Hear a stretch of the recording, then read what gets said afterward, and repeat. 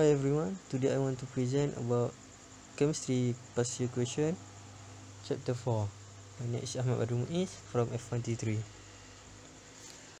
Draw the electron dot symbol for chlorine and oxygen atom. First we determine the valence electron.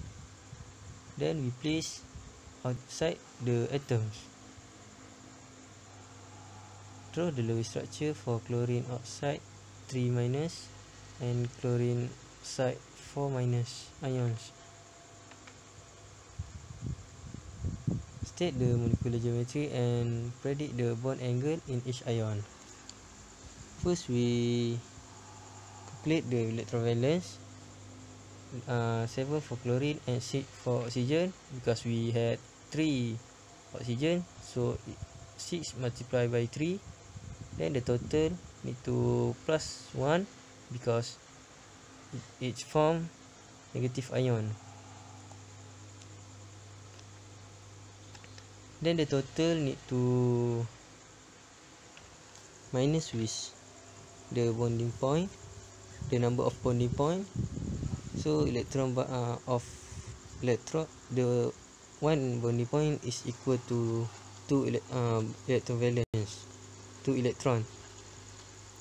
So 26 uh, minus with 6 we got 20 to determine the molecular geometry we need to identify bond form.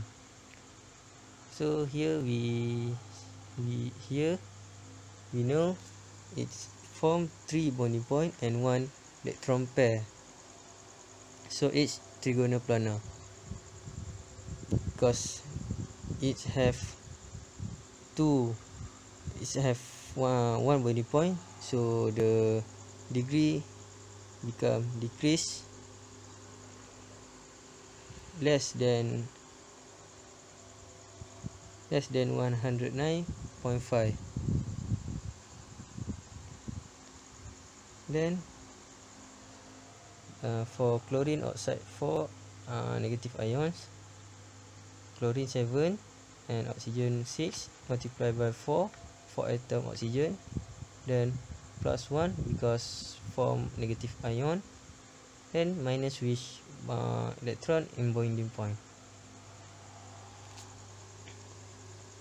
So we got 24 electron. We got uh, then we place electron at the oxygen. Then we then here chlorine did not has electron bonding electron point electron, pair. So it's become tetrahedral. The angle is 109.5 this is the overview for question 2a okay for 2b1 there are three possible Lewis structure then the molecular geometry is trigonal pyramidal, bond angle less than 109.5 degree. This is the possible Lewis structure for 2B2. The molecular geometry is tetrahedral, bond angle 109.5 degree. So how to get the Lewis structure, my student explained just now. And then most of the students will answer the first structure is okay, but it can be expanded because chlorine is in period 3. There is D orbital, that's why it can expand so it can form double bond with oxygen. Okay, maximum 7 bond because there are 6 valence electron for chlorine. Okay, next C. Element X and Y has proton number 12 and 7 respectively. Write the chemical formula of the compound formed between X and Y. So before we need to before we write the chemical formula, right, we need to write down the electronic configuration to identify the group and period. So for this one, the period is 3 and then the group is group 2. So this is metal. It can form S2 positive cation. While Y, okay, the group is group 15, period 2, then it's non-metal.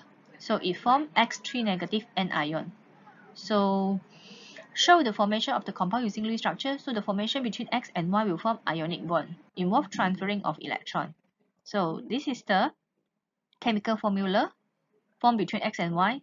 So it shows the transferring of electron from the cation to the anion. So the uh, from the metal to non-metal. So the X will become X2 plus cation after it donate 2 electron to Y.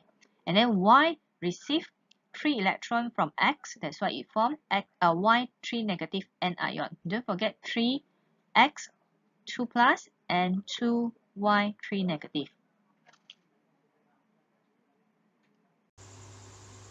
Are the resonance structure for nitrate ion NO2 minus. Nitrogen had 5 electrovalence and oxygen has 6 electrovalence. But we need we have 2 electron, 2 atom of oxygen. So we need to multiply by 2 and we need to plus 1 because it form negative ion. So the resonance we can see here two types of resonance. So the difference is bonding point at this area and this. So that's all. Thank you. If you like this video, don't forget to subscribe, like,